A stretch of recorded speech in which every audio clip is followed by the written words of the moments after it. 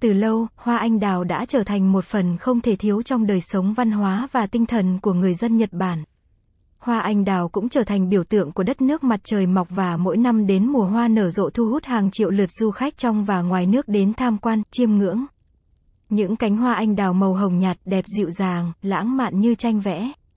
Vào dịp hoa anh đào nở rộ người dân Nhật Bản thường cùng nhau ngồi dưới gốc cây anh đào, cùng vui đùa, ngắm hoa và tận hưởng không khí trong lành những ngày xuân. Mùa xuân đến, đất nước Nhật Bản được thay màu áo bởi sắc hoa anh đào hồng nhạt lãng mạn, dịu dàng. Những cánh hoa anh đào bay phất phới trong gió tạo nên một khung cảnh thật ấn tượng.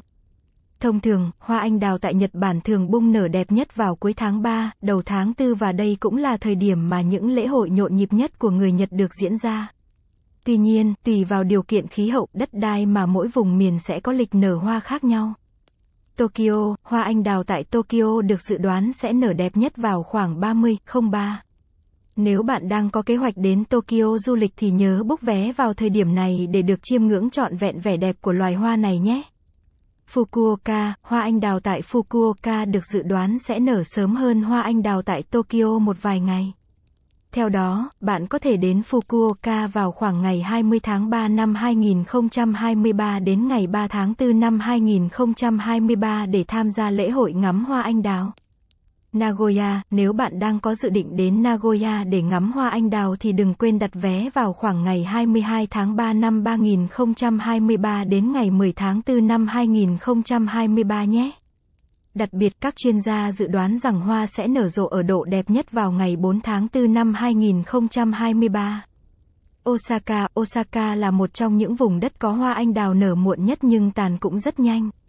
Loài hoa này sẽ chỉ nở trong vòng vài ngày, từ ngày 5 tháng 4 năm 2023. Vì vậy, đừng bỏ qua thời điểm vàng nếu như bạn muốn chiêm ngưỡng hoa anh đào nở rộ nhé. Kyoto, vùng đất Kyoto Thanh Bình sẽ chào đón bạn với sắc hồng dợp trời của hoa anh đào nếu như bạn đến đây khoảng ngày 25 tháng 3 đến ngày 3 tháng 4. Tuy nhiên nếu bạn đến đây khoảng mùng 6 hoặc mùng 7, bạn vẫn có thể có cơ hội ngắm hoa anh đào cuối mùa trước khi chúng bắt đầu rụng dần. Hiroshima, công viên hòa bình Hiroshima sẽ được bao phủ bởi một rừng anh đào bung tỏa vào khoảng ngày 23 tháng 3 đến ngày 5 tháng 4. Hoa sẽ nở đẹp nhất vào khoảng ngày 4 tháng 4. Gần như khắp mọi nơi tại xứ Phù Tang đều có thể địa điểm lý tưởng để thưởng ngoạn vẻ đẹp của hoa anh đào. Có thể kể đến một số địa điểm ngắm hoa anh đào nổi tiếng như núi Phú Sĩ, công viên Ashikaga Flower, Miura và Yokohama, lâu đài Odawara, lâu đài Kokura, công viên Yodogawa Kazan, Kyushu, công viên Masumae Hokkaido, Miharu Tohoku, lâu đài Himeji Kansai, lâu đài Wakayama, lâu đài Nagoya và công viên Shirotori, Yoshino Kansai.